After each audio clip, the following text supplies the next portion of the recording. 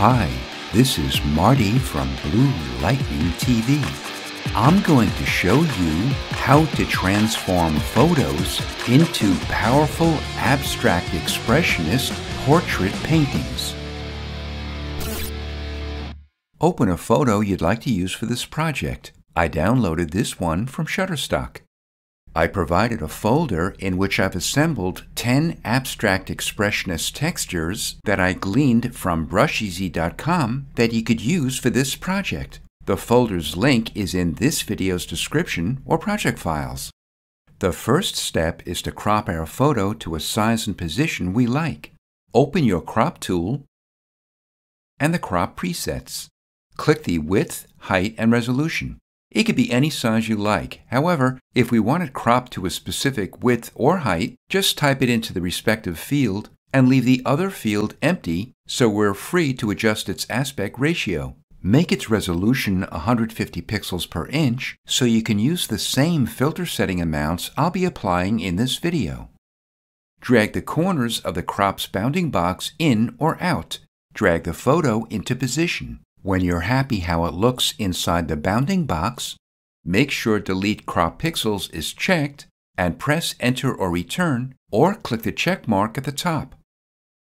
To zoom into your image, press Ctrl or Command and the plus key on your keyboard or press Ctrl or Command 0 to fill your canvas with it. To see your image at 100%, press Ctrl or Command 1. Before we continue, if you'd like to be notified as soon as I upload new Photoshop tutorials, click that subscribe button and welcome. We'll separate our subject from its background. Open the Quick Selection tool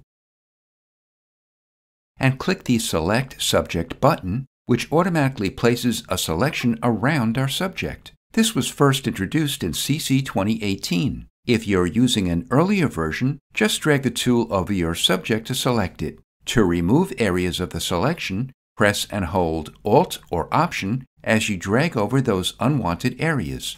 Press Ctrl or Command J to cut and copy your subject onto a new layer. Hide the background.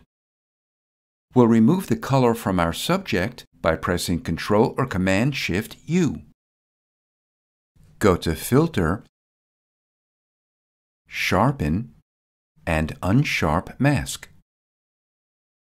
This filter works by adding clarity and contrast to the photo. It automatically detects what it believes are edges within the picture and increases their contrast, which produces a sharper looking image. Make the amount 100%, the radius 10 pixels, and the threshold 10 levels. Go to Filter stylize, and oil paint. Make the stylization 4, the cleanliness 2, the scale 10, and the bristle detail 10. Make sure lighting is unchecked. As I click the preview window off and on, we can see the difference in our image with and without the oil paint effect. Go to Image, Adjustments, and Posterize. Make it four levels. We'll make three copies of the layer by pressing Ctrl or Command J three times.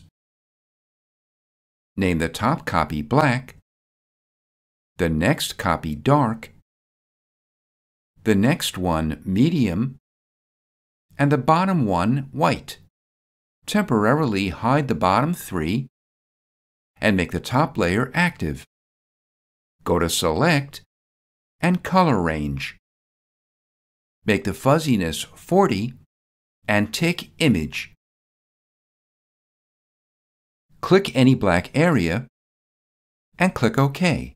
This selects just the black shapes of our image. Click the Layer Mask icon to make a layer mask of the selection. Make the layer below it visible and active. Go back to Select and Color Range. Tick Image and click any area that's dark but not black. As before, click the Layer Mask icon to make a layer mask of the selection. make the medium layer visible and active, and go to Select and Color Range. Tick Image and click the next lightest area. Make a layer mask of the selection and repeat the same steps for the white shapes of your subject.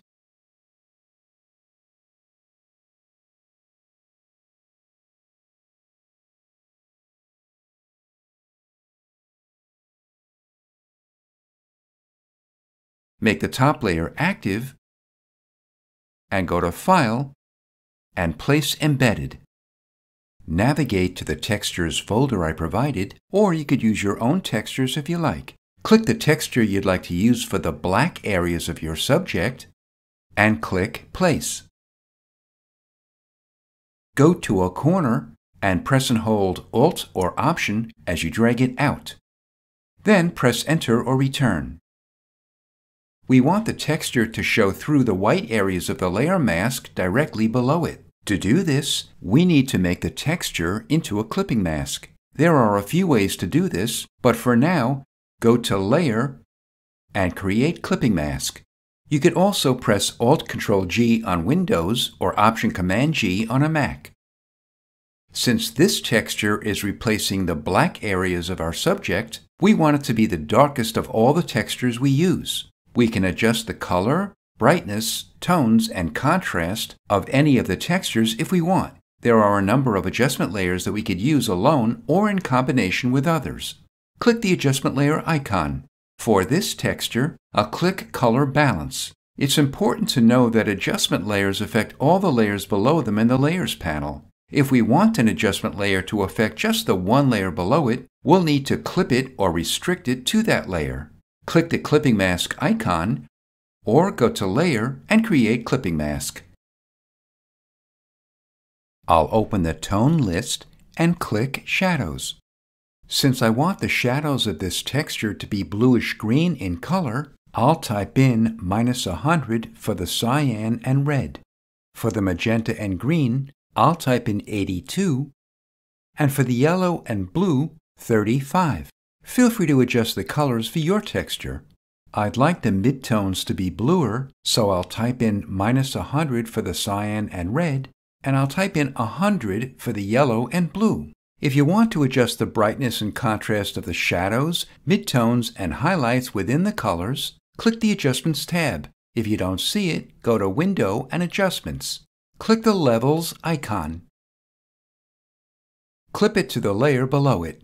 For the input midtones, I'll type in 0.72, and for the output white level, I'll type in 178. The further we drag the output white slider, the darker our image appears. This is because the white output level controls how light the lightest tone in the image can be. In this instance, I'm restricting the lightest tone to be gray. Conversely, the further we drag the output black slider, the lighter our image appears. As with any of the adjustment layers, feel free to play with the amounts to get the look you want. We'll place the top four layers into a folder by shift-clicking the black subject layer to make all the layers active and pressing Ctrl or Command G. Name it Black. Make the dark subject layer active and go to File and place Embedded. Click a texture you'd like to use for the dark tones of your subject and click Place. Drag out the texture and press Enter or Return or click the check mark. Clip this texture to the layer directly below it. Since this texture is filling the dark tones of our subject, I'd like to darken it. Keep in mind, if you choose a texture that's consistently dark throughout, you won't have to add an adjustment layer to darken it. I'll click the adjustment layer icon, click Levels, and clip it to this texture. I'll make the output white level 196. Shift-click the dark subject to make it and the texture active as well, and group the three layers into a folder. Name it Dark. Make the medium layer active and go to File and place Embedded. Click the texture you want to use for the medium tones of your subject and click Place. Fill your subject with the texture and clip it to the medium subject layer. I'll click the adjustment layer icon and click Levels. I'll clip it to the texture and make the output black level 116 to lighten this overall texture. Keep in mind we can always reposition, rotate, or resize any of our textures. Just make that texture active and open the Transform tool. Play with its angle, position, and or size. Place those three layers into a folder and name it Medium. Make the white subject layer active, place a texture over your document, and clip it to the white tones of your subject. I'll add a levels adjustment layer and slide across the output black level to make that texture lighter. Lastly, we'll add the background texture. After you group the layers that comprise the white tone into a folder, make the background active, and place another texture onto your document. Size it up, and as with all the textures, feel free to adjust its color, brightness, contrast, and tone. This is Marty from Blue Lightning TV. Thanks for watching.